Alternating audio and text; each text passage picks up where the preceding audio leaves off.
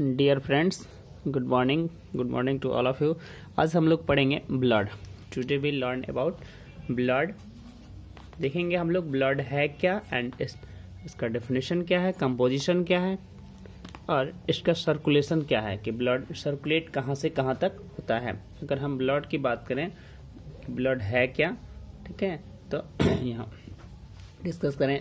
That means what is blood अगर हम लिखें कि व्हाट इज़ ब्लड इसका आंसर निकल कर आएगा कि blood is the highly highly specialised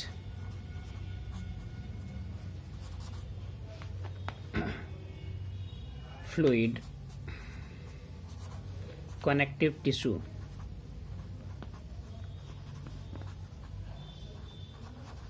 That means we can easily say that the blood is the especially highly specialized fluid connective tissue यानी ये connective tissue है इसकी और बात देखें तो it circulate it circulate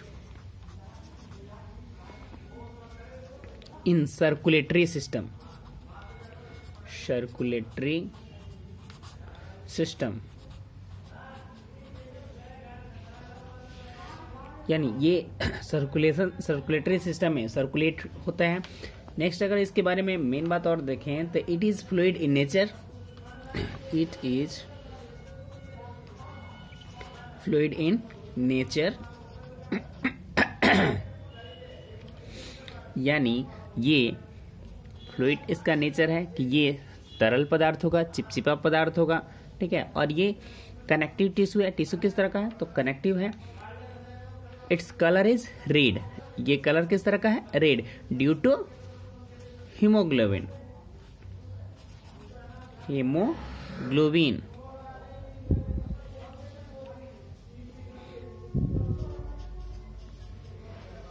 ये हीमोग्लोबिन के चलते इसका कलर जो है, क्या है? रेड है. ठीक है? और हीमोग्लोबिन पाया किसमें जाता है? तो ये आरबीसी में पाया जाता है. ठीक है, इस सब का हम डिटेल समझेंगे आरबीसी क्या है डब्ल्यूबीसी क्या है, ठीक है। पहले हम ब्लड शुरू किए हैं तो ब्लड में मुख्य रूप से हीमोग्लोबिन ही पाया जाता है, जो आरबीसी के अंतर्गत पाया जाता है, और इसका पीएच मान जो होता है pH value pH value of haemoglobin जो होता है, वो होता है seven point three two seven point four इसका करेक्ट वैल्यू है ठीक है 7.3 टू 7.4 पीएच वैल्यू है। ये अल्कलाइन इन नेचर होता है। अल्कलाइन इन नेचर होता है, ठीक है, यानी क्षारीय होता है। अब, अगर हम ब्लड के बारे में पढ़ रहे हैं तो हम ये कह सकते हैं कि study of blood study of blood is known as haematology haematology यानी ब्लड के अध्ययन को हम क्या कहते हैं? The study of blood is known as haematology उसको हम हेमेटोलॉजी कहते हैं। हेमोग्लोबिन जो है, अब हेमेटोलॉजी का डेफिनेशन की बात करेगा, कि हेमाटोलॉजी कहते किसको हैं? तो हम कह सकते हैं कि the branch of science the branch of science in which deals with study of blood is called haematology आप लिख सकते हैं अगर लिखना चाहें तो। हेमेटोलॉजी हम आपको बता दिए कि अगर ब्लड का अध्ययन करते हैं, ब्लड के बारे में जानकारी लेते हैं तो उसे हम कहेंगे हेमेटोलॉ हेमेटोलॉजी अगर ये लिखना चाहते हैं इसका डेफिनेशन तो आप आसानी से लिख सकते हैं कि the branch of science in which the branch of science in which deals with study of blood is known as haematology अगर हम कंपोजिशन की बात करें कि इसका कंपोजिशन क्या है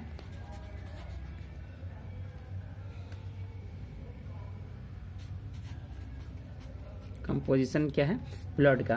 तो इसमें आपको मिलेगा प्लाज्मा और दूसरी तरफ़ मिलेगा आपको ब्लड सेल दूसरी तरफ़ आपको मिलेगा ब्लड सेल ये कह सकते हैं कि एक तरफ़ आप प्लाज्मा के बारे में पढ़ेंगे कि प्लाज्मा है क्या, और दूसरी तरफ़ पढ़ेंगे ब्लड सेल यानी हम यहाँ दूसरे कलर से आपको दिखाना चाहेंगे कि यहाँ अगर हमने ब्लड लिखा, ठीक है? तो ब्लड को मुख्य तरह से हम लोग दो भाग में बांट सकते हैं। एक तरफ़ आएगा प्लाज्मा और दूसरी तरफ़ इसका भाग आएगा ब्लड सेल प्लाज्मा की बात करें तो ये हमारे ब्लड में परसेंटेज वैल्यू 55 परसेंट होता है। जबकि ब्लड सेल की बात करें तो ये हमारे बॉडी में 45 परसेंट पाया जाता है। अब देखेंगे कि प्लाज्मा के अंतर्गत क्या क्या होता है और ब्लड सेल के अंतर्गत क्या क्या होता है? अगर इसके बारे में बढ़ें, कि प्लाज्मा के बारे में क्या क्या होता है तो इसमें मुझे मुख्य जो मिलेगा, वो है लिपिड मिलेगा। लिपिड्स इसमें मिलेंगे। और क्या मिलेंगे भाई? तो इसमें हमको कार्बोहाइड्रेट मिलेगा। हाइड्रेट मिलेगा। मुझे वाटर मिलेगा। प्रोटीन मिलेगा। और क्या मिलेगा? इलेक्ट्रोलाइट्स मिलेंगे। और विटामिन मिलेंगे, मिनरल्स मिलेंगे। ठीक है? ये हुई आपके प्लाज्मा का कंपोजिशन कि what is the composition of plasma you can say that lipids carbohydrates water protein electrolytes and vitamin अब आते हैं ब्लड सेल ब्लड सेल की बात करें ब्लड सेल में मुख्य रूप से आपको तीन चीज़ें मिलने वाली है, जो मैं आपको बता दूँ। आरबीसी डब्ल्यूबीसी एंड तीसरा होगा जो, वो होगा आपका प्लेटलेट्स प्लेटलेट्स ठीक है, अब इसके बारे में एक एक करके हम डिटेल अध्ययन करेंगे कि आरबीसी क्या है डब्ल्यूबीसी क्या है, और प्लेटलेट क्या है? इनके बारे में हम लोग विस्तृत अध्ययन करेंगे कि ये है क्या। आइए हम इस के बारे में फिर से आपको डिटेल समझाते हैं। पहले तो हम इन सबको जानने से पहले, सबका हम लोग नॉर्मल वैल्यू समझते हैं कि नॉर्मल वैल्यू आखिर होता क्या है। किसका किसका? तो भाई, आरबीसी, डब्ल्यूबीसी और प्लेटलेट्स का नॉर्मल रेंज क्या है? इसका नॉर्मल जो रेंज है, नॉर्मल रेंज ऑफ़ आरबीसी, इसका नॉर्मल रेंज है फाइव मिलियन। यानी the normal range of RBC is five million and normal range of WBC इसका नॉर्मल रेंज जो है, ये four thousand four thousand to eleven thousand ये इसका अप्रॉक्स नॉर्मल वैल्यू है कि हमारी बॉडी में डब्ल्यू जो है व्हाइट ब्लड सेल है, ये चार हज़ार से लेकर ग्यारह हज़ार तक पाया जाता है। अगर हम नॉर्मल वैल्यू प्लेटलेट्स की बात करें कि प्लेटलेट्स का नॉर्मल वैल्यू क्या होता है तो इसमें हम लिख सकते हैं कि ये एक लाख से लेकर, एक लाख से लेकर चार लाख तक होते हैं। है चार लाख तक पाए जाते हैं। अब हम देख लेते हैं कि इसका अनदर नेम क्या है। ये फट रहा है। अनदर नेम क्या है?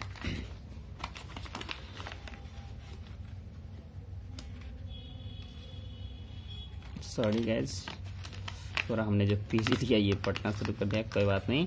अभी हम लोग समझते हैं इसको, समझना ज़रूरी है कि अब हम बात करें कि another name of RBC another name of WBC and another name of platelets क्या क्या है? अगर हम यहाँ आपको एक और लाइन ड्रॉ करके यहाँ दिखाना चाहें कि इसका अनदर नेम क्या है सबका? ठीक है? यहाँ देखिए। अगर हमने आर बी सी इसका आप एक नाम तो जानते हैं। रेड ब्लड सेल ये आसानी से आपको पता है। एक और नेम आप जानिए, इसको जो मेडिकल टर्म में यूज़ होता है। एरिथ्रो एरिथ्रोसाइट अब देखो साइट का मतलब भी सेल होता है और करपसल्स का मतलब भी सेल होता है, ठीक है? ऐसा नहीं कि करपसल्स कहेंगे तो उसका मतलब कुछ और समझेंगे, उसका मतलब भी सेल होता है। फिर आता है W B C W B C क्या है? तो डब्ल्यू बी सी की अगर बात करें हम, कि डब्ल्यू बी सी है क्या तो W B C white blood cell another another name of W B C leucocyte leuco L E देखो साइट इसमें भी आ रहा है साइट इसमें आ रहा है। लिको का मतलब ही होता है व्हाइट और इरिथ्रो का मतलब ही होता है रेड और एक अनदर जो ब्लड है आपका प्लेटलेट्स प्लेटलेट्स प्लेटलेट्स का मतलब होता है थ्रम्बोसाइट थ्रम्बोसाइट यानी आपने यहाँ देखा आरबीसी डब्ल्यूबीसी और प्लेटलेट्स का another name RBC is known as erythrocyte WBC is known as leucocyte and platelets is known as thrombocyte इसको हम कह सकते हैं कि इसका अनदर नेम भी है। ठीक है? अब और आपको बताते हैं कि यहाँ जो आपको हम पढ़ाए थे प्रोटीन के बारे में, कि प्रोटीन क्या क्या कार्य करता है तो आइए एक राउंड में यहाँ देख लेते हैं कि प्रोटीन के अंतर्गत क्या क्या पाया जाता है। चूँकि प्रोटीन हम पर ऑलमोस्ट प्रोटीन के बारे में पढ़ते हैं तो प्रोटीन में मुख्य रूप से प्रोटीन। फिर एक एक का डिटेल हम चलेंगे, ठीक है, कि किसमें क्या क्या रहता है। फ़ंक्शन फिर पढ़ेंगे ब्लड का। तो प्रोटीन की बात करें तो प्रोटीन में मुख्य रूप से हमको मिलता है एल्बुमिन एल्बुमिन दूसरे ग्लोबुलिन प्रोथ्रम्बिन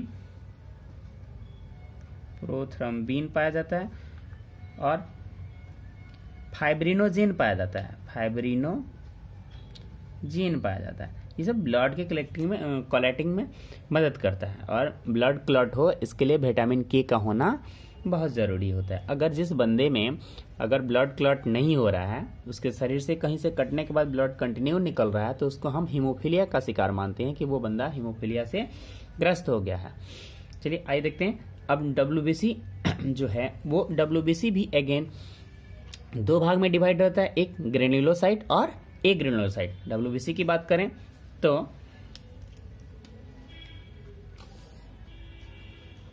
डब्ल्यू बी सी जो होता है, ये दो भाग में अगेन डिवाइड रहता है।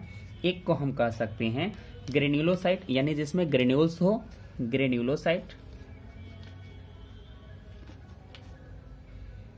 ग्रेन्यूलोसाइट और दूसरे वाले की बात करें अगर तो ये हो जाएगा अग्रेन्यूलोसाइट केवल ए लगा देना आपको।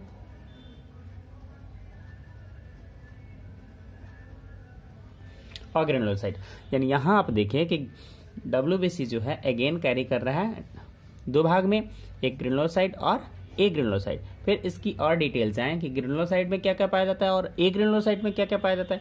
तो यहाँ अगर हम बात करें कि ग्रेनुलोसाइट में क्या क्या है आइए हम आपको नेक्स्ट पेज में बात करके दिखाते हैं।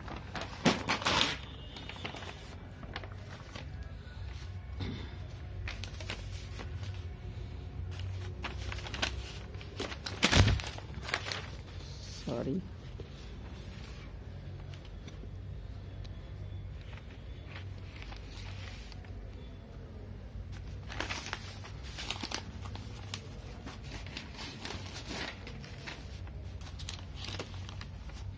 थोड़ा इसको ठीक कर लें गिर गया ये मेरा सिस्टम कोई बात नहीं, फिर समझते हैं कि ये है क्या।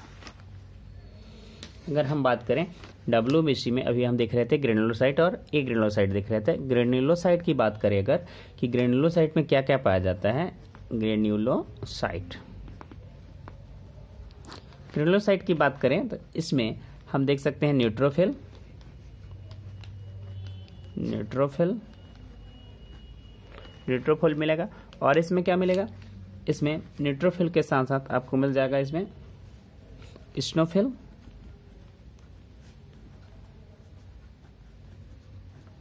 फिर आपको मिलेगा बैसोफिल यानी हम कह सकते हैं कि ग्रेनुलोसाइट में तीन और तरह के तत्व पाए जाते हैं। का नाम है न्यूट्रोफिल स्नोफिल और बैसोफिल अगर हम एक ग्रेनुलर की बात करें एक ग्रेनुलोसाइट की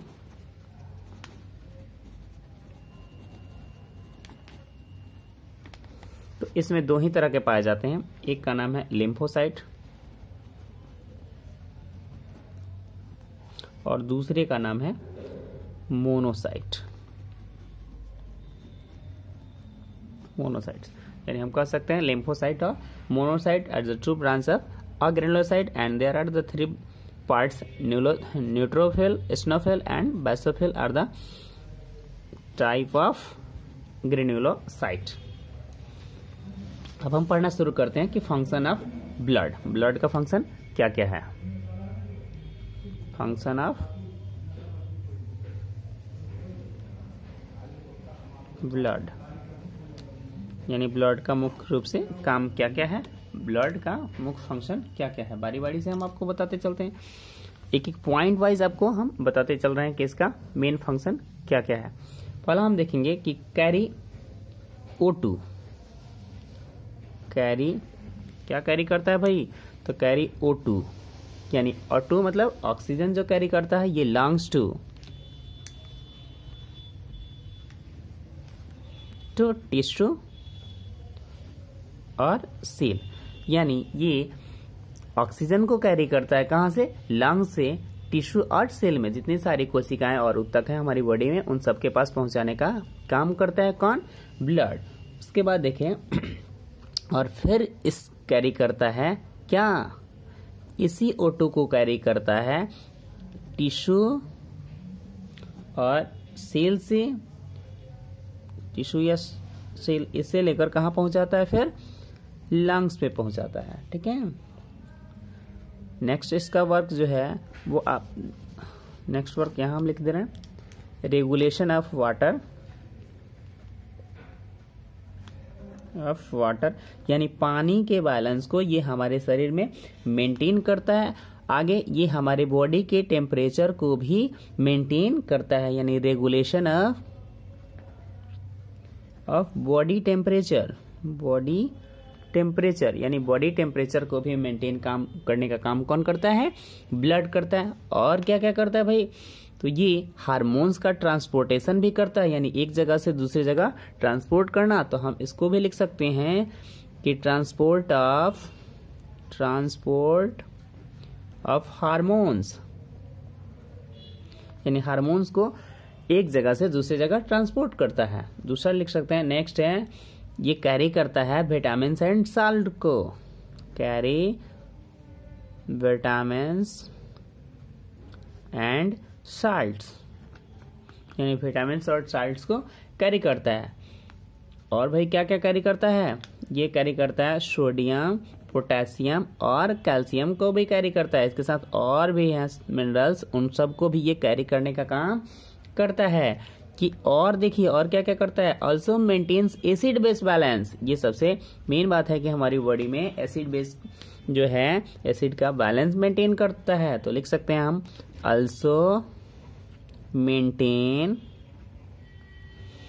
acid base balance acid base balance को मेंटेन करता है।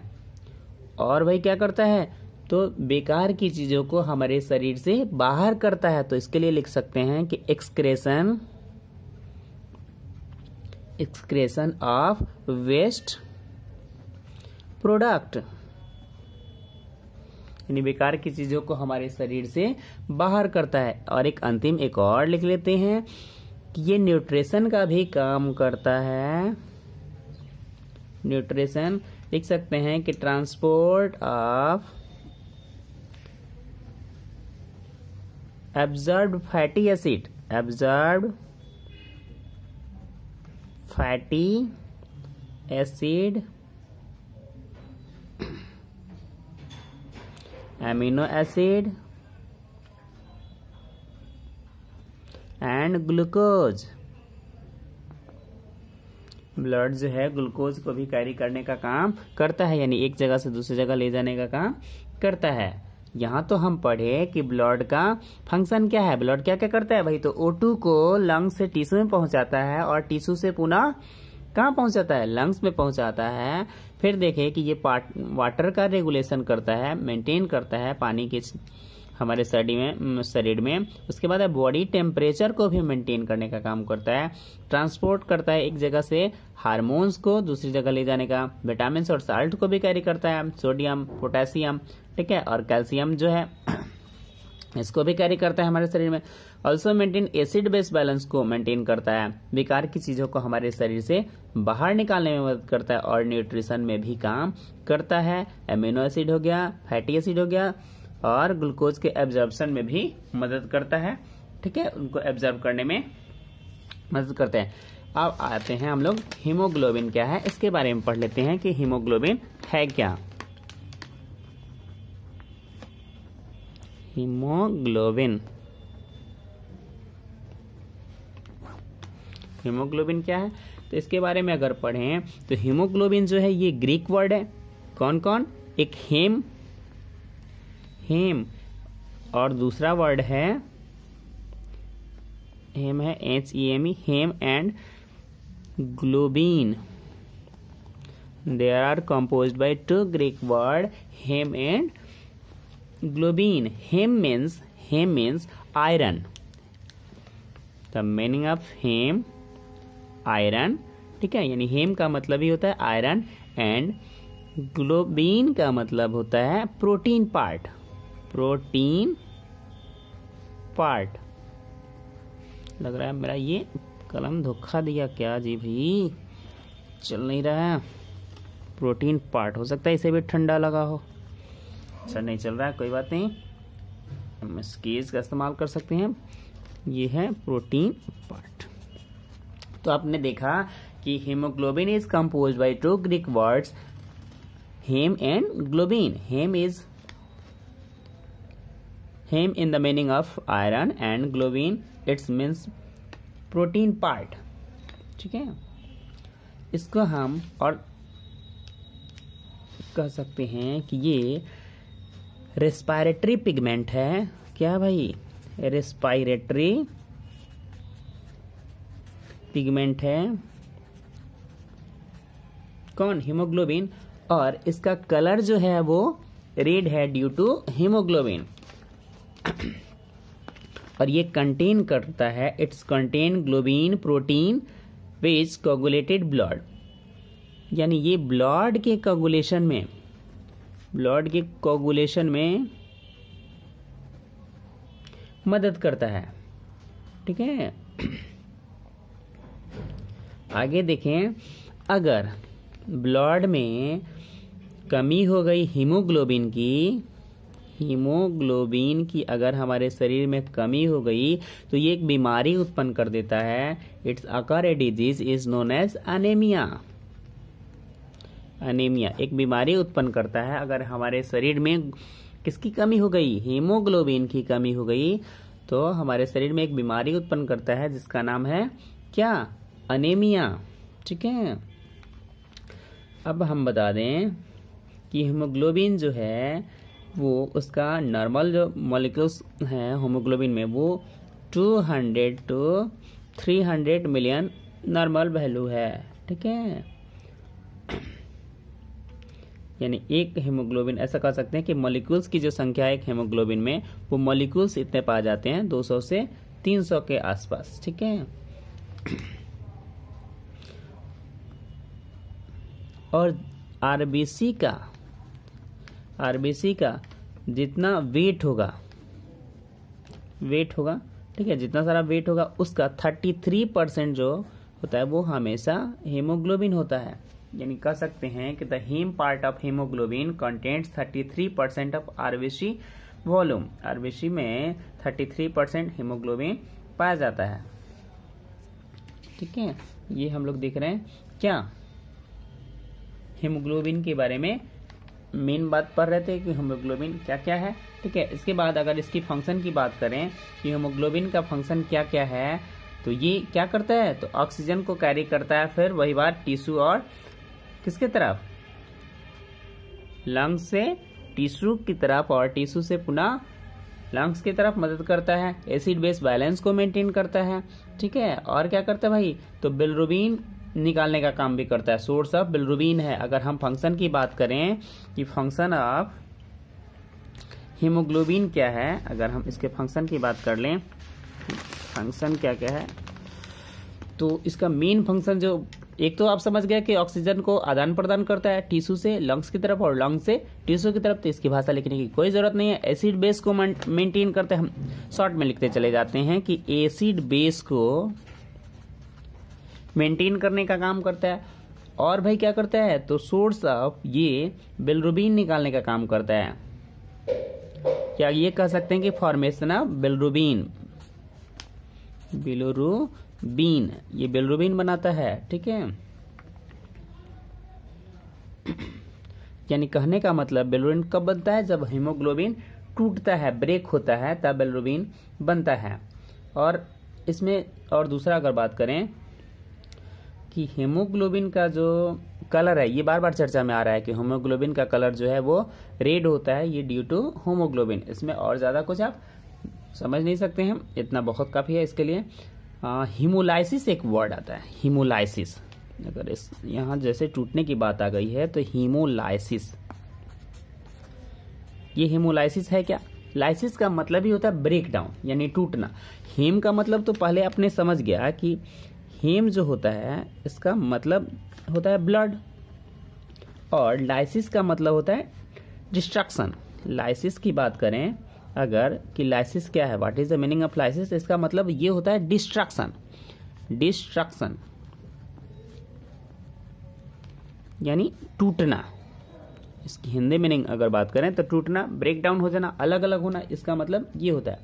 यानी ये कह सकते हैं कि haemolysis is disordered in the blood in which escaping of haemoglobin from RBC यानी इसके बारे में हम ये समझ सकते हैं कि आरबीसी से हीमोग्लोबिन का नष्ट होना ही क्या कहलाता है? हिमोलाइसिस कहलाता है।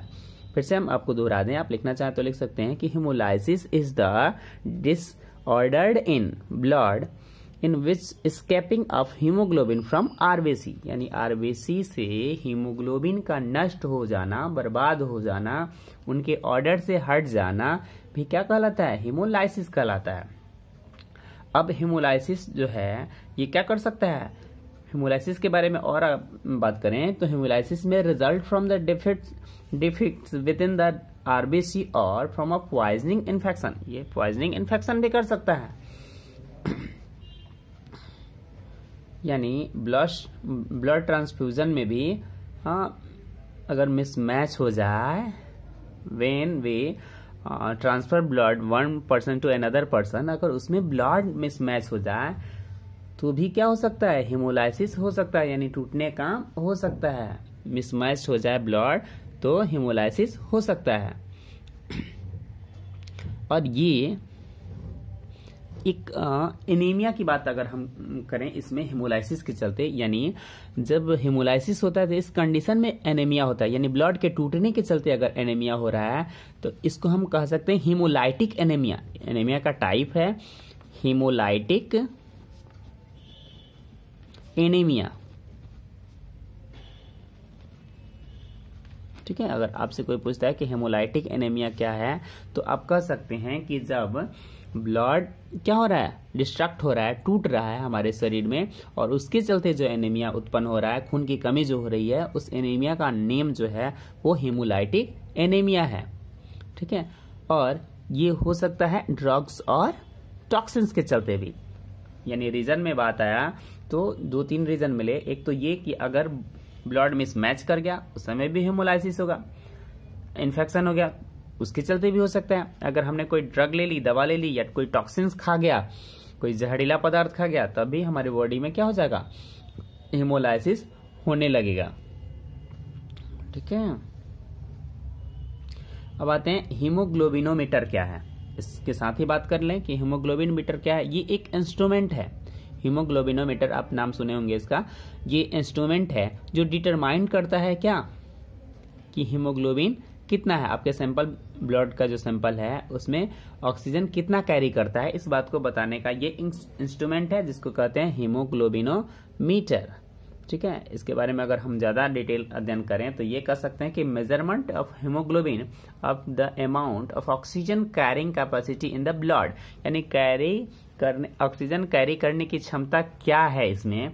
इस बात को बताने का जो इंस्ट्रूमेंट है, उसको ही कहते हैं हम हीमोग्लोबिनोमीटर यानी नॉर्मल हीमोग्लोबिन कंडीशन एक्सप्रेस इसको हम एक्सप्रेस करने की बात करें तो ग्राम प्रति ग्राम प्रति डीएल में करते हैं, यानी डेसी लीटर में करते हैं कि कितना है। ठीक है?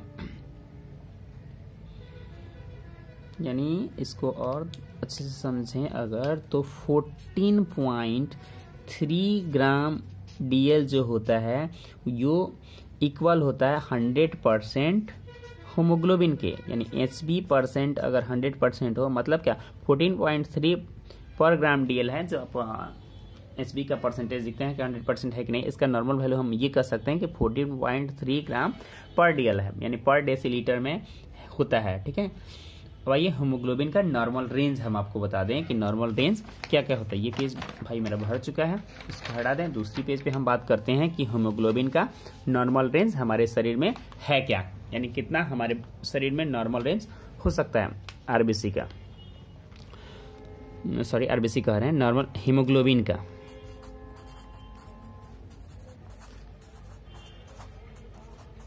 हीमोग्लोबिन का भी हम नॉर्मल रेंज पढ़ेंगे। इन मेल, यानी पुरुषों में इसकी कितनी होती है नॉर्मल तो ये तेरह से लेकर thirteen to eighteen gram per DL होता है पर डेसीलीटर इन फीमेल की बात करें, इन फीमेल तो इसमें जो होता है, ये 11.5 to 16.5 gram per DL for decilitre होता है। इन चाइल्ड की बात करें अगर कि चाइल्ड में कितना होता है? तो 11.5 टू 13.5 ग्राम पर डीएल होता है डेसीलीटर ज़्यादा होना चाहिए। इसमें 16 से भी ज़्यादा होना चाहिए, क्योंकि बच्चों में हीमोग्लोबिन की मात्रा ज़्यादा होती है और सॉरी चाइल्ड में है न्यू बर्न में न्यू बर्न की बात करें न्यू बर्न तो न्यू बर्न में जो होता है, ये 17 to 22 to M per DL होता है पर डेसीलीटर मिलता है। ये तो हो गया कि होमोग्लोबिन हमारे शरीर में होता कितना है, ठीक है? और उसका नॉर्मल वैल्यू क्या है? अगर ये था, हम क्या पढ़ लिए? हीमोग्लोबिन के बारे में पढ़ लिए कि नॉर्मल वैल्यू क्या है। अब अगर हम बात करें कि हीमोग्लोबिन जो है, वो डिज़ीज़ कैरी करता है, ठीक है? अब किस तरह के डिज़ीज़ कैरी करता है? अब देख लेते हैं कि हीमोग्लोबिन अगर हमारे शरीर में कम हो जाए तो हम इसे कैसे पता करेंगे? यानी decreasement of haemoglobin decrease decreasement of haemoglobin यानी हीमोग्लोबिन की कमी हो जाए हमारे शरीर में तो क्या क्या रिज़ल्ट हो सकता है? तो पहला तो कंडीशन आता है कि various type of various type of anaemia यानी तरह तरह के एनीमिया हमारे शरीर में हो सकते हैं और ब्लड लॉस चाहे जिस कंडीशन से हो जाए, चाहे वो ट्रामेटिकल इंजोरी हो जाए सर्जरी के चलते हो जाए, या ब्लीडिंग हो जाए इंटेस्टाइन से, यानी क्लोन से ब्लीडिंग अगर हो जाए, उस कंडीशन में भी हीमोग्लोबिन घट जाएगा। पैरासाइटिक इन्फेक्शन मोस्टली मान लीजिए किसी को मलेरिया हो गया, यानी हेमोलाइटिक एनीमिया हो गया मलेरिया में तो उस कंडीशन में भी हीमोग्लोबिन क्या हो जाएगा? कम हो जाएगा। किडनी के डिज़ीज़ में भी क्या हो जाएगा? हीमोग्लोबिन की संख्या कम हो जाएगी। जैसे मान लीजिए इरेथ्रोपोइटिन हो गया किसी को इरेथ्रोपोइटिन डिफिशियंसी ये किडनी डिज़ीज़ में आरबीसी डिस्ट्रक्ट हो गया, टूट गया, उसके चलते भी हो गया। पॉइजनिंग अगर है पॉइजनिंग अगर वाली बात है तो उस कंडीशन में भी क्या होगा? हीमोग्लोबिन की संख्या घट जाएगी हमारे शरीर में। मल्टी न्यूट्रिशन हो जाए, यानी खान पान में कमी हो जाए तो भी हो जाएगी। अगर डिफिशियंसी हो जाए आयरन की आयरन की डिफिशियंसी हो जाए फॉलिक एसिड की डिफिशियंसी हो जाए, ठीक है विटामिन बी ट्वेल्व की डिफिशियंसी हो जाए बी सिक्स की डिफिशियंसी हो जाए तो उस कंडीशन में भी हम क्या कहेंगे? डिक्रीजमेंट ऑफ़ हीमोग्लोबिन यानी हमारे शरीर में हीमोग्लोबिन का कम हो जाना, ठीक है? अब नॉर्मल रेंज की बात करें कि नॉर्मल हीमोग्लोबिन का जो रेंज होता है S B one S B two और एस बी एफ़ वन जो होता है एस बी एफ़ वन का मतलब ये फिटस में होता है एच बी ए वन की बात करें तो इसका ये नाइन्टी सेवन परसेंट होता है, ठीक है? एच बी ए टू जो होता है, ये टू से थ्री परसेंट होता है, ठीक है? और H B F one F one मतलब हीटस हेमोग्लोबिन, ये एक से दो परसेंट होता है। और एच बी एफ़ वन एक और बात जान लीजिए एच बी एफ़ वन जो होता है, ये कन्वर्ट हो जाता है किसमें?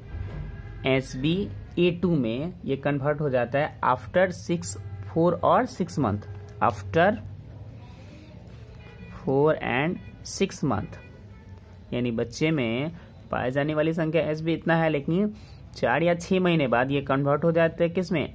एस बी ए टू में कन्वर्ट हो जाता है। अब हम पढ़ेंगे एबनॉर्मल हीमोग्लोबिन यानी हीमोग्लोबिन एबनॉर्मल हो जाए तो उस कंडीशन में क्या क्या होता है? तो अगर एबनॉर्मल हो जाए, करे in abnormal haemoglobin the structure of amino acid chains are change come compose to normal यानी नॉर्मल जो चेन होना चाहिए, उस चेन से क्या हो जाता है? एबनॉर्मल हो जाता है, जिसको हम क्या कहते हैं? एबनॉर्मल हेमोग्लोबिन एबनॉर्मल होमोग्लोबिन की टाइप की अगर बात करें कि किस टाइप का होता है तो एच बी एस हो जाता है H B C one H B D one और एच बी ई हो जाता है। बहुत सारे हैं। यानी हेमोग्लोबिन एस करे it occurs mainly in tropical Africa also middle middle it's Indian past Turkey Turkey among the American negro black यानी उन लोगों में ये सब पाया जाता है। ठीक है, इसमें ग्लूटामिक एसिड जो होता है, वो बनना शुरू हो जाता है। ग्लूटामिक एसिड रिप्लेस हो जाता है किसी दूसरे अमीनो एसिड के जगह पे, जिसको हम क्या कहते हैं? वेलाइन कहते हैं। हीमोग्लोबिन की बात करें सीवन को तो E it's occur West African West Indies among the negro ये हम लोग ज़्यादा डिटेल में जा रहे हैं, ज़्यादा डीप में जा रहे हैं। आपको इतना डीप जाने की ज़रूरत नहीं है। आप केवल ये समझें हीमोग्लोबिन है क्या? फिर अगर इसमें बात करें, आगे हम कि पिगमेंट क्या क्या होता है ऑक्सी हीमोग्लोबिन में, ठीक है? कार्बोक्सी हीमोग्लोबिन में मेट हीमोग्लोबिन में साइमेट हीमोग्लोबिन में और साल्ट हीमोग्लोबिन में। तो अगर इसमें बारी बारी सी बात करें कि ऑक्सी हीमोग्लोबिन में जो हीमोग्लोबिन पिगमेंट जो होता है हीमोग्लोबिन पिगमेंट इसकी अगर हम बात करें तो इसमें ऑक्सी हीमोग्लोबिन ऑक्सी हीमोग्लोबिन इसमें एफी प्लस प्लस यानी आयरन की मात्रा इसमें अधिकतर अधिक रहता है। अगर कार्बोक्सी कार्बोक्सी हेमोग्लोबिन की बात करें तो इसमें जो होता है एसपी परसेंटेज के साथ साथ टू रहता है, यानी कार्बन डाइऑक्साइड रहता है, मेट मेट हीमोग्लोबिन की बात करें अगर, मेट हीमोग्लोबिन की बात करें तो इसमें जो होता है फेरीसाइनाइड रहता है। इसमें क्या रहता है? फेरीसाइनाइड रहता है। अगर साइमेट की बात करें साइनमेट हेमोग्लोबिन तो ये होता है इसमें रेड, ब्राउन इन कलर। ठीक है, साल्ट साल्ट हेमोग्लोबिन। इसमें होता है एस बी प्लस एस, यानी एच बी एस पाया जाता है इसमें। ठीक है।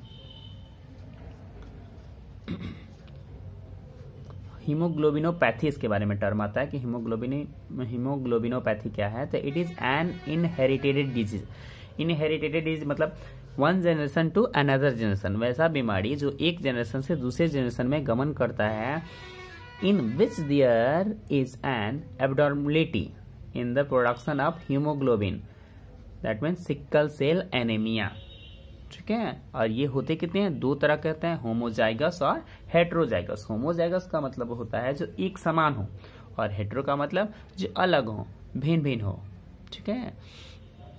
अब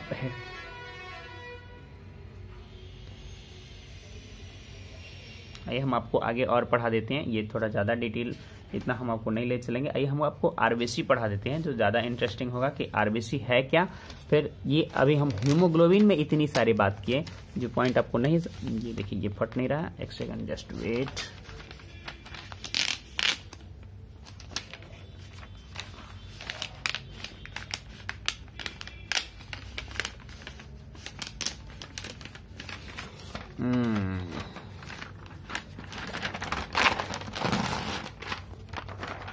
आइए और पढ़ते हैं हम लोग। आरबीसी के बारे में पढ़ लेते हैं। आरबीसी है क्या? ठीक है, इसका मेन काम क्या क्या है आरबीसी की अगर बात करें हम आरबीसी आप इसका अनदर नेम समझ गए। आरबीसी का अनदर नेम क्या था? एरिथ्रोसाइट था। क्या था? एरिथ्रोसाइट था। रेड ब्लड सेल था। ठीक है? ये भी एक, अगर इरिथ्रोसाइट की बात करें तो ये ग्रीक वर्ड है एरिथ्रो और plus cyte erythro plus cyte erythro का मतलब ही होता है रेड एंड साइट्स का मतलब होता है सेल ठीक है? यानी ये कह सकते हैं कि ये एरिथ्रोसाइट जो होता है, ये ऑक्सीजन कैरी करता है, यानी कह सकते हैं कि RBC is blood cell which contains oxygen carrying red pigment known as hemoglobin. इसमें एक बार बार चर्चा में आ रहा है कि रेड रेड पिगमेंट पाया जाता है, जिसके चलते हेमोग्लोबिन कहते हैं। इसकी अगर ये सेप की अगर बात करें तो सेप इसका सर्कुलर होता है और बाई कनकेव होता है। बाई कन केव होता है इसका। ठीक है डी सेप भी कह सकते हैं। ये डी शेप्ट होता है। ठीक है? मैच्योर आरबीसी में न्यूक्लियस की जगह पे क्या पाया जाता है? रेस्पिरेटरी पिगमेंट पाया जाता है। अब रेस्पिरेटरी पिगमेंट कहते किसको भाई? तो हीमोग्लोबिन को ही हम रेस्पिरेटरी पिगमेंट कहते हैं। क्या कहते हैं? तो रेस्पिरेटरी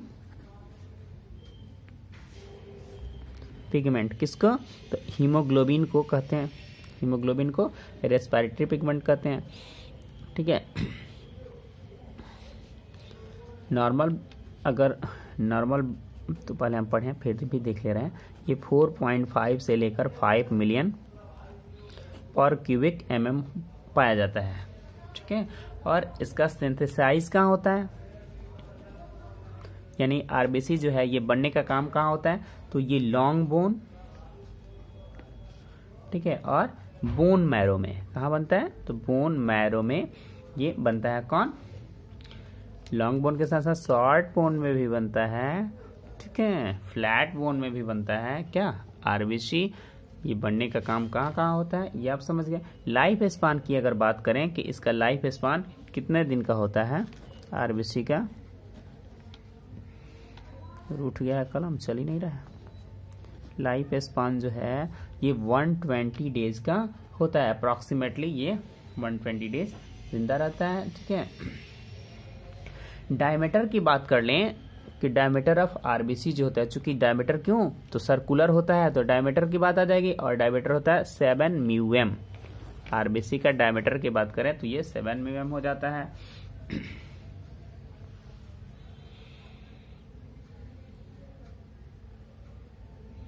अब अगर हम बात करें आरबीसी का फ़ंक्शन क्या क्या है फ़ंक्शन ऑफ़ आरबीसी अगर हम देखें,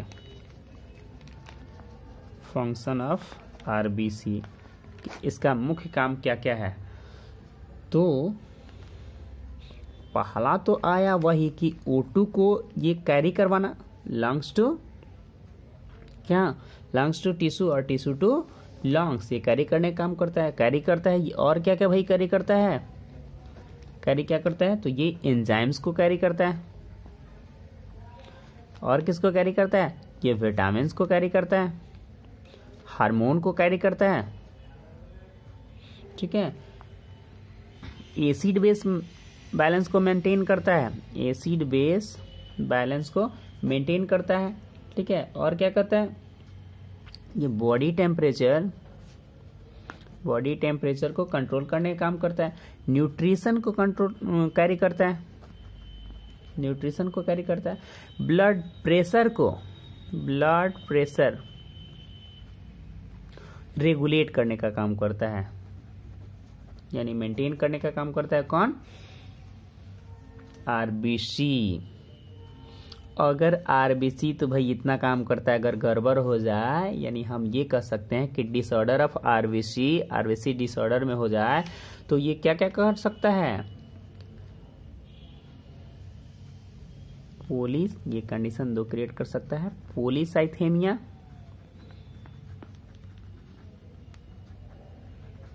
और एनीमिया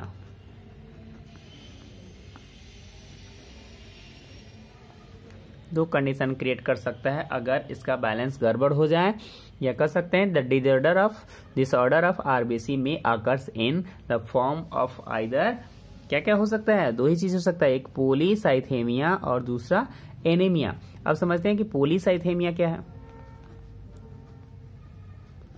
अगर कंडीशन एबनॉर्मल हो जाए, या आरबीसी की संख्या क्या हो जाए? इंक्रीज हो जाए, बढ़ जाए ठीक है? तो इस कंडीशन को ही हम क्या कहते हैं? पोली पोली का मतलब ही होते ज़्यादा, चूँकि आप मैथ से पढ़े पोलीगॉन पढ़े पोली का मतलब ज़्यादा। तो पोलीसाइथेमिया ये क्रिएट कर देता है, ठीक है? और इंक्रीजमेंट इसकी संख्या बढ़ा देता है। क्यों? भिस्कोसिटी के चलते, ठीक है? भिस्कस इन नेचर तो ये है ही, और क्लॉटिंग फैक्टर ज़्यादा करने लगता है। और इसके बारे में समझ सकते हैं कि this leads to the cerebral and coronary artery thrombosis यानी ब्लड जब क्लॉटिंग होगा इसमें तो ये क्या कर सकता है भाई? तो crown cerebral cerebral and coronary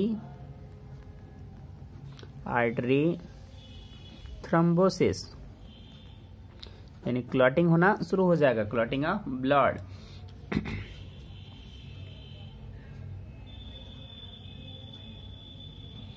ये करता कोरोनरी आर्टरी जो है, वो हार्ट को सप्लाई देता है ब्लड कोरोनरी आर्टरी की बात करें, ये वाली आर्टरी कोरोनरी तो ये हार्ट को सप्लाई देता है और ब्रेन जो है ट्वेंटी परसेंट पूरे शरीर का ब्लड अपने पास उसको चाहिए ब्रेन को. सेरेब्रल आर्टरी के बारे में अगर और बात करें तो ये ब्रेन में सप्लाई देने का काम करता है कि कोरोनरी आर्टरी ब्रेन को सप्लाई देता है. अब ये तो हो गया किसका? पोलिसाइथार्मिया का हो गया कि ये डिस्टर्ब करेगा, ज़्यादा अगर जनसंख्या जनसंख्या करें, ज़्यादा इसका अगर वॉल्यूम बढ़ गया तो अब एनीमिया जो है, क्या है तो एनीमिया अपने आप में एक बहुत बड़ा चैप्टर है, किस दिन हम चाहे अभी थोड़ा सा डिस्कस कर लें क्योंकि जब हम बता रहे हैं तो समझ ही लो, एनीमिया है क्या? तो एनीमिया के बारे में हम ये समझ सकते हैं, लिख दें हम anaemia.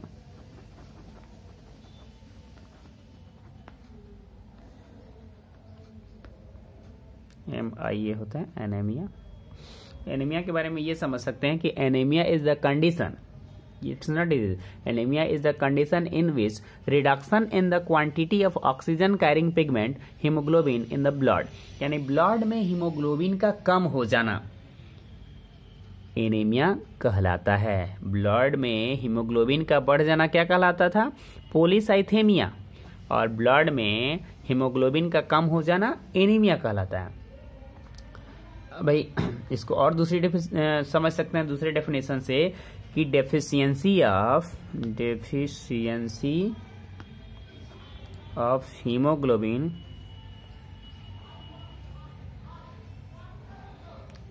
globin in the blood known as anemia. यानी ब्लड में हीमोग्लोबिन का कंडीशन कम हो जाए तो हम क्या कर सकते हैं? एनीमिया कहेंगे। इसको कह सकते हैं, ये कॉमन डिजॉर्डर भी है। कॉमन डिजॉर्डर है।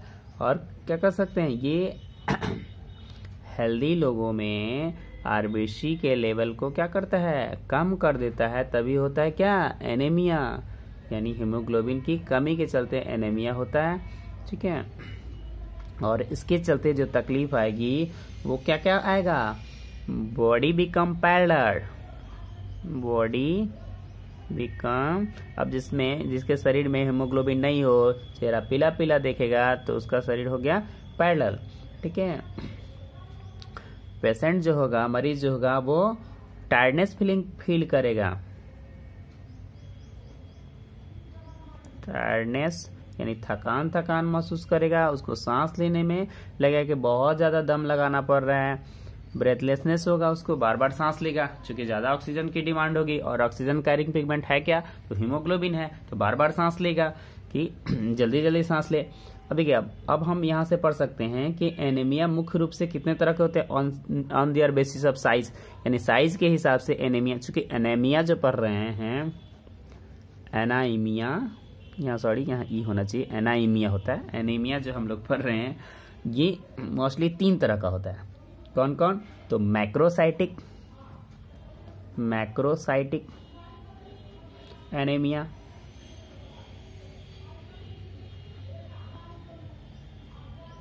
macrocytic microcytic microcytic anaemia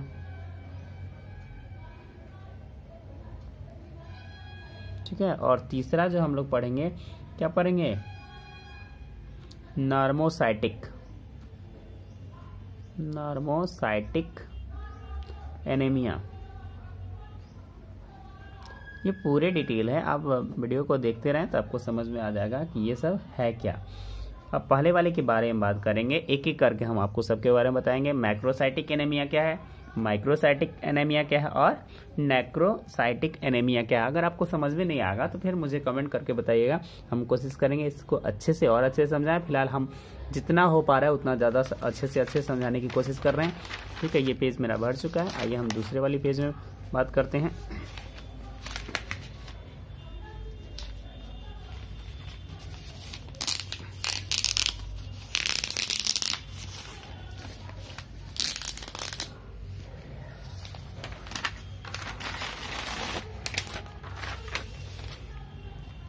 इसमें बात कर ले रहे हैं। पहला वाला आपको हम क्या बताए थे? मैक्रोसाइटिक। क्या बताए थे भाई? मैक्रोसाइटिक बताए थे। Macrocytic anaemia.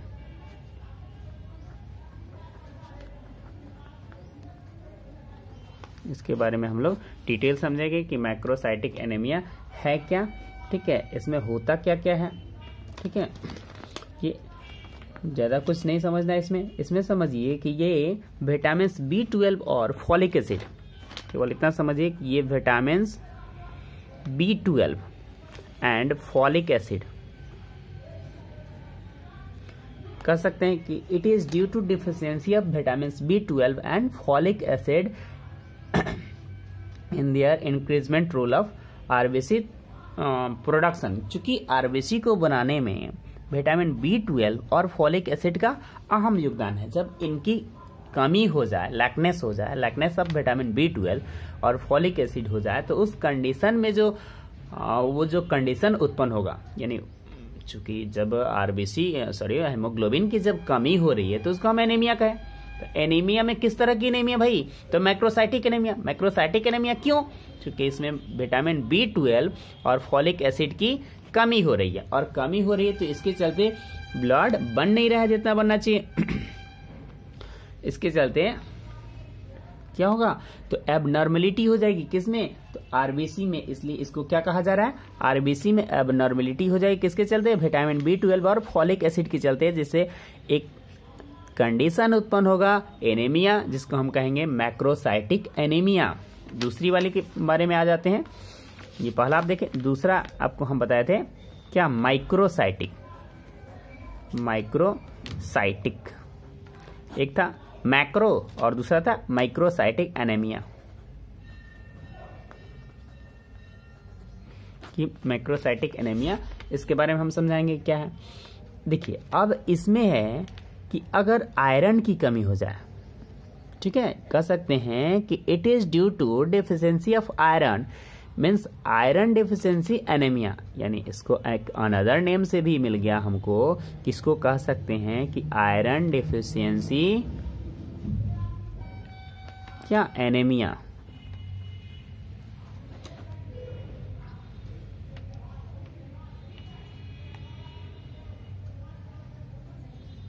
और ये कंडीशन क्रोनिक क्रोनिक इन्फेक्शन में ये देखने के लिए मिलता है। ठीक है, इसमें रेड ब्लड सेल जो होता है, वो स्मॉल हो जाता है. साइज़ उनका एबनॉर्मलिटी क्या हो जाती है?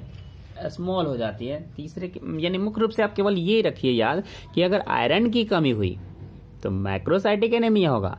विटामिन बी ट्वेल्व और फॉलिक एसिड की हुई तो मैक्रोसाइटिक एनेमिया होगा. और एक तीसरा बचा हुआ है जो, उसके बारे में हम बात कर लें. क्या था वो? नर्मोसाइटिक आप याद नहीं रख रहे हो? अच्छी बात नहीं है.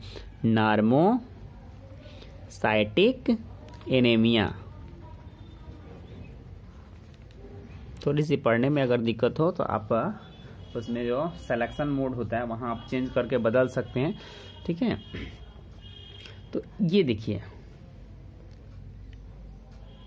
साइज़ में अगर इसके बारे में है कि it is characterize by the presence of are red blood cells of normal size normal size से अगर ये एबनॉर्मल हो जाए ठीक है? तो उसको हम क्या कहेंगे? नॉर्मोसाइटिक। ये यहीं से आप याद रख सकते हैं, ज़्यादा कुछ नहीं।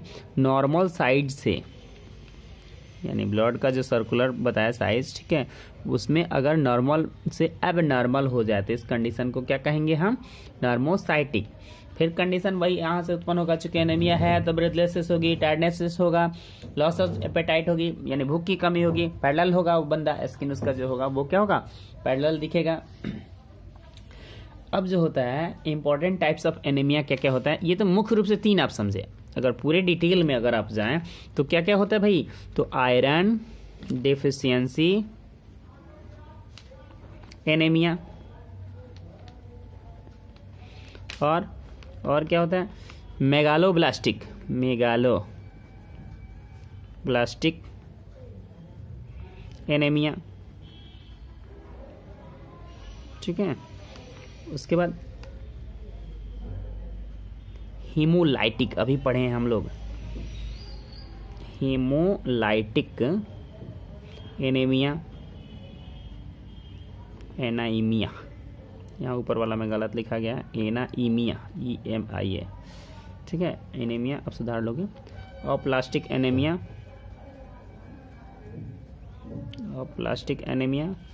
ठीक है, उसके बाद है हीमोहेरेज एनीमिया। हीमोहेरेज मतलब का ब्लीडिंग का हो जाना।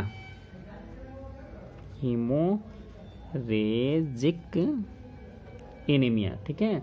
Sickle cell anaemia. S I C होता है, S I C K E C E double S sickle cell anaemia. ठीक है, उसके बाद आता है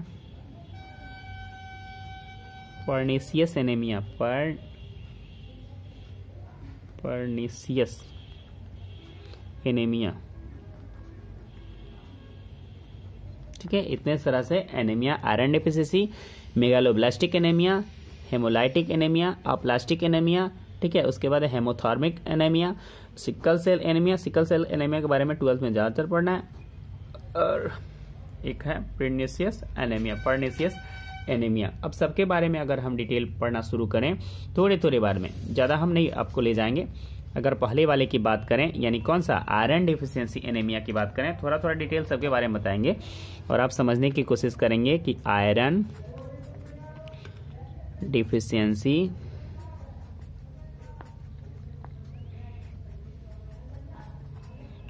iron deficiency anaemia हो रहा है तो इसमें कंडीशन क्या क्या हो सकता है? तो इसमें समझ सकते हैं ये कि इसमें कि वैसी एनेमिया बिल्कुल आसान भाषा में, वैसी एनेमिया जिसमें आयरन की कमी हो जाए किसी भी कारण से, किसी भी कारण से, यानी कह सकते हैं कि in which type of anaemia there is a deficiency of iron due to low directly intake और डिक्रीज एब्जॉर्प्शन यानी किसी भी कारणवश अगर ब्लड में आयरन की कमी होती है तो उसको हम कहेंगे आयरन डिफिशियंसी एनीमिया ठीक है?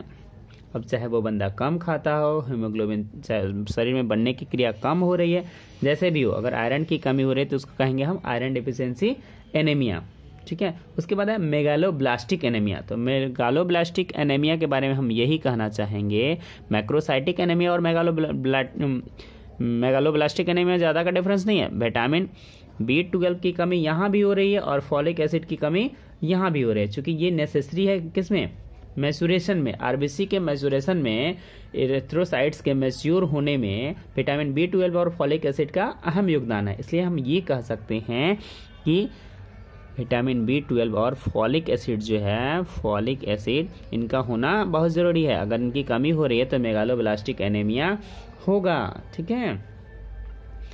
अब आइए अब पढ़ें हेमोलाइटिक एनीमिया। हेमोलाइटिक एनीमिया का मतलब होता है कि अगर ब्लड का टूटना किसी भी कारण से, इंजोरी हो गया, इन्फेक्शन हो गया, मलेरिया हो गया, कुछ भी हो गया, जिसमें ब्लड टूटने का काम कर रहा है बार बार तो उसको कहेंगे हेमोलाइटिक एनीमिया, ठीक है? ज़्यादा हम नहीं इसके बारे में अंदर जाने का अथी कर रहे हैं, आपको ज़्यादा उलझा नहीं रहे हैं। जल्दी जल्दी कोशिश कर रहे हैं कि आपको हम बताएँ कि है क्या क्या। ऑप्लास्टिक एनेमिया, इसके बाद आता है ऑप्लास्टिक एनेमिया। तो ऑप्लास्टिक एनेमिया क्या है भाई? तो this anaemia occurs due to the suppression of bone marrow function यानी यह प्लास्टिक एनेमिया समझिए कि बोन मैरो बोन मैरो अगर आपका ठीक से काम नहीं कर रहा है चूँकि क्यों? बोन मैरो में आरबीसी बनना होता है। ये हम बताएँ तो अगर ये सुपर सीज़न कर जाए तो क्या हो जाएगा? या फेल्यूर हो जाए। It is characterize by the failure of blood cell production is in bone marrow is known as aplastic anaemia ठीक है? दूसरे की बात करें हेमोथर्मिक एनेमिया क्या है? तो इसके बारे में समझते हैं कि this anaemia occurs due to and accidental by which too much blood loss यानी सबसे ज़्यादा ब्लड अगर लॉस हो जाए, चाहे एक्सीडेंटल केस में, ऑपरेशन में, क्रोनिक ब्लीडिंग में, यानी जिस कंडीशन से भी हमारे शरीर में ब्लड का कम हो जाए, उसके चलते जो एनीमिया क्रिएट हो, उसको क्या कहेंगे हम? हीमोर हेजिक एनीमिया। हेमरेज का मतलब ये होता है, जैसे आप सुनते हैं ब्रंट, ब्रेन हेमरेज करना। हेमरेज का मतलब क्या हुआ? यानी ब्लीडिंग का शरीर से ज़्यादा हो जाना। हीमोहेरेज, यानी हीमोग्लोबिन का बाहर निकलना। ठीक है? अब बात आता है सिकल सेल एनेमिया क्या है? तो सिकल सेल एनेमिया के बारे में ये कह सकते हैं कि it can hereditary blood disease यानी ये एक जनरेशन से दूसरे जनरेशन में गमन करती है।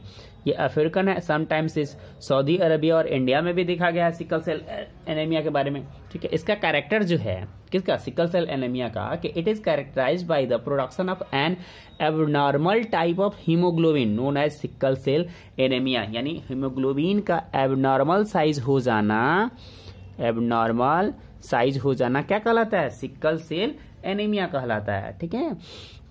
इसके बारे में और अगर समझते हैं कोशिश करें तो है कि there is no satisfactory treatment the highest maternity on the childhood but श्रम पेशेंट में live on age of 60 to 70 years इसका ट्रीटमेंट जो है, जिसको हो जाए, ज़्यादा दिन टिकता नहीं है बट 70 बहुत हो गया, खींच देता है कोई कोई इंसान, ज़्यादा दिनों तक।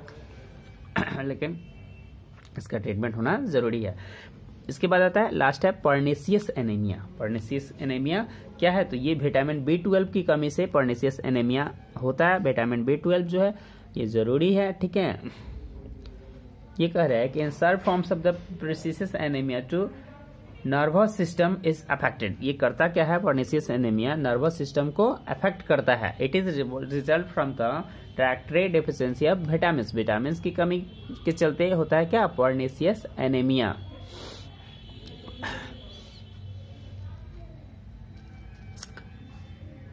हम्म, यानी ये हम समझ सकते हैं कि इंटेस्टाइन में विटामिन बी ट्वेल्व और फॉलिक एसिड का एब्जॉर्प्शन नहीं अगर हो सही से तो भी हो सकता है पर्नेसियस एनेमिया ठीक है?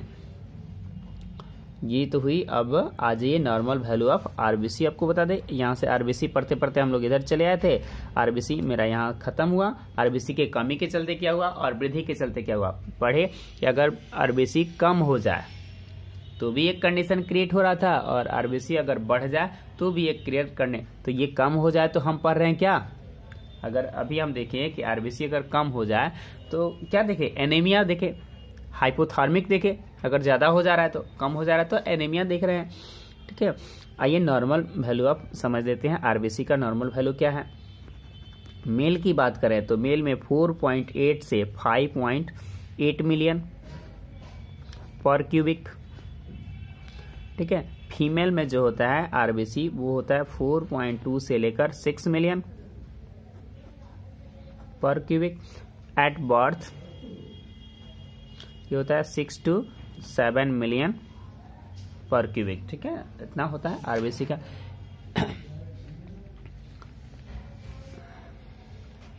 अब हम लोग पढ़ेंगे इरिथ्रोपोइसिस क्या है, ठीक है? यानी इरिथ्रोपोइसिस का मतलब होता है क्या? आरबीसी का बनना, ठीक है? ये गहन अध्ययन चल रहा है। एरिथ्रोपोइसिस एरिथ्रो एरिथ्रोपोइसिस ये क्या है? एरिथ्रोपोइसिस कह रहा है कि ये भी एक ग्रीक वर्ड है. It is compose of two Greek words first is erythro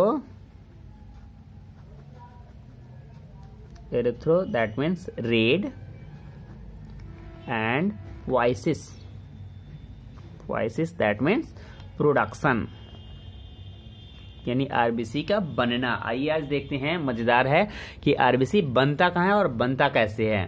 ठीक है, कह सकते हैं कि it is a process by which red blood cells are form is known as erythropoiesis यानी आरबीसी का बनना ही क्या कहलाता है? एरेथ्रोपोइसिस कहलाता है। इन द फेटस यानी उम में फेटस में जब बच्चा एकदम बिल्कुल माँ के घर में आता है this red blood cells are form in liver अब बनता कहाँ कहाँ है भाई? माँ के घर में फिटस में अगर हम बात करें कि फीटस में बच्चा बनता कहाँ है? सॉरी बच्चा कहाँ बनता है? सॉरी ब्लड कहाँ बनता है? इसकी अगर बात करें तो जगह है लीवर ठीक है? एस्प्लीन एस्प्लीन को कब्रगाह भी कहा जाता है। बोन मैरो बोन मैरो ये वो साइट है जहाँ पे आरबीसी बनता है। ठीक है? ये कब? फिटस में जब बच्चे माँ के पेट में होता है, जब गर्भ में होता है वोम में होता है, तब उस कंडीशन में ब्लड कहाँ कहाँ बनता है? तो उस बच्चे के लिवर में बनता है स्प्लिन में बनता है और बोन में बनता है। आफ्टर बर्थ आफ्टर बर्थ यानी जन्म लेने के बाद, बल लेने के बाद कहाँ कहाँ बनता है? तो आ जाइए एस्टर्नम में। एस्टर्नम रिब्स वर्टेब्रल कॉलम यानी यहाँ तो बनने का काम था, यहाँ बनता तो है ही।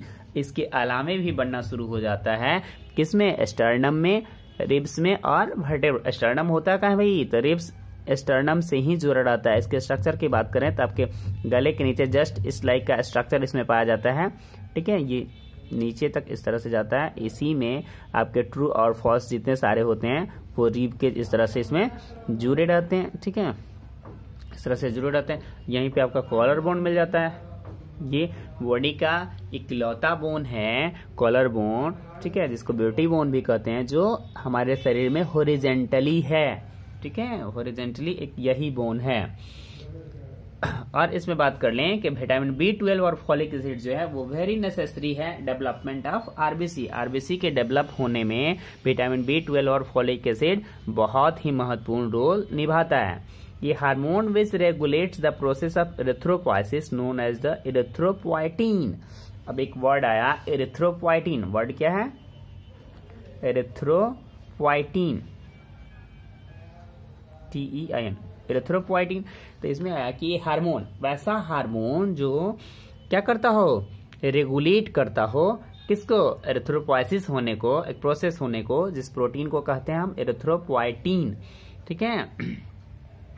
दिस हार्मोन इज़ कौन हार्मोन भाई? तो एरिथ्रोपोइटीन एक हार्मोन है, जो एरिथ्रोपोइसिस में, यहाँ है एरिथ्रोपोइसिस में मदद करता है, और ये हार्मोन सेक्रेट कहाँ से होता है? निकलता कहाँ से है? तो ये किडनी से निकलता है। किडनी से निकलता है। ठीक है? कौन हार्मोन भाई? तो एरिथ्रोपोइटीन अब आइए हम आपको पढ़ा दें स्टेज ऑफ़ एरिथ्रोपोइसिस एरिथ्रोपोइसिस बनता कैसे है? कौन कौन सा स्टेज है इसमें? बनने में एरेथ्रो यानी एरेथ्रोसाइट बनने में कितने दिन लगते हैं और इसके स्टेजेस क्या क्या हैं? आइए अभी इधर न्यू पेज और भी है, पढ़ते हैं इधर। क्या ये कह सकते हैं कि मैच्योरेशन क्या है? आरबीसी कैसे मैच्योर होता है? मैच्योरेशन क्या है? किसका? आरबीसी का। तो इसका स्टेज देखिए क्या क्या है। Pre normoblast pre normo pre normoblast और साइज़ समय इसका रहता है 14 टू 19 म्यू प्री के बाद जो है, ये आ जाता है नॉर्मोब्लास्ट नॉर्मोब्लास्ट ठीक है? और इसका साइज़ जो हो जाता है 12 टू 17 म्यू उसके बाद है रेटिकुलोसाइट रेटिकुलो साइट। ठीक है रेटिकुलोसाइट इसका साइज़ की बात करें तो सेवन टू टेन म्यू हो जाता है। उसके बाद बात करें तो एरेथ्रोसाइट्स एरेथ्रो साइट्स ठीक है, यानी एरिथ्रोसाइट आकर क्या हो जाता है? मैच्योर हो जाता है। ये हमारे ब्लड में पाया जाता है। एरिथ्रोसाइट यानी आरबीसी यहाँ कंप्लीट हो गया बनना, जिसका साइज़ होता है सेवन पॉइंट टू म्यू ठीक है? और ये सब प्रोसेस होने में कितना दिन लगता है भाई? फोर डेज़ लगता है, यानी चार दिन में ये प्रोसेस डन हो जाता है आरबीसी बन जाता है। आरबीसी सबसे पहले प्री नॉर्मोब्लास्ट बनता है, फिर नॉर्मोब्लास्ट बनता है, फिर क्या बनता है? रेटिकुलोसाइट बनता है, फिर एरेथ्रोसाइट बनता है। यानी यहाँ से मैच्योर हो जाता है। अब इसको मैच्योर होने के लिए रिक्वायरमेंट क्या क्या है? क्या क्या होना चाहिए? तो आयरन होना चाहिए बॉडी में। आयरन की मात्रा प्रचुर होना चाहिए। कॉपर का होना ज़रूरी है। कॉपर हमारी बॉडी में चाहिए विटामिन चाहिए। विटामिन चाहिए, और क्या चाहिए भाई? विटामिन से तो मिनरल्स भी साथ साथ चाहिए, और क्या चाहिए? प्रोटीन चाहिए। ये इतने नेसेसरी इक्विपमेंट है जो हमारे बॉडी में होने ज़रूरी है, तब होगा। अब देखिए, अब आरबीसी जब अभी हेमोग्लोबिन एब नॉर्मल हो रहा तो पर रहते अगर आरबीसी एब नॉर्मल हो जाए यानी नॉर्मल कंडीशन से क्या हो जाए? अब नॉर्मल कंडीशन में हो जाए तो क्या क्या हो सकता है? तो देखिए, दो ही कंडीशन आ सकता है। कब? एब नॉर्मल ऑफ़ आरबीसी हो जाए। Abnormal abnormal of RBC RBC abnormal हो जाए तो क्या क्या हो सकता है? मैक्रोसाइटिक आइए माइक्रो पहले लिख दे रहे हैं। माइक्रो साइट्स अगर इसका size less than six mu m ठीक है? दूसरा मैक्रो यानी साइज़ या तो बढ़ जाए या तो छोटा हो जाए। Macrocytes more than nine mu m more than nine mu m ठीक है? चूँकि नॉर्मोसाइट का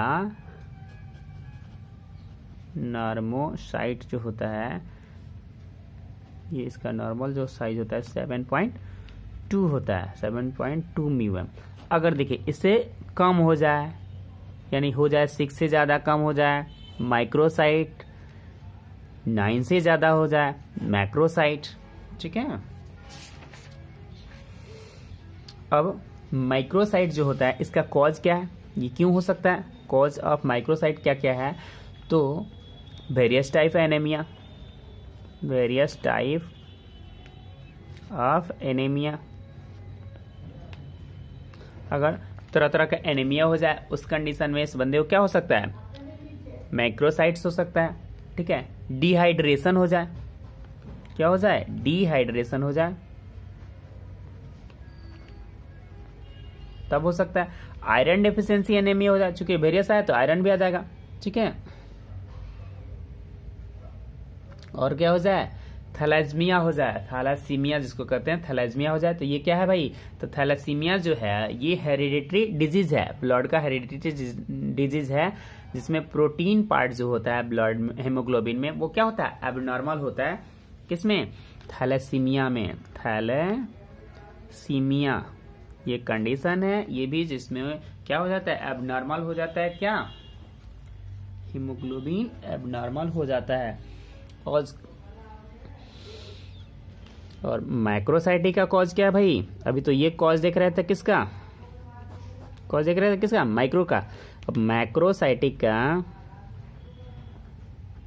इसका कॉज क्या है? तो इसमें बात करें, अगर लीवर डिज़ीज़ हो जाए, क्या हो जाए? लीवर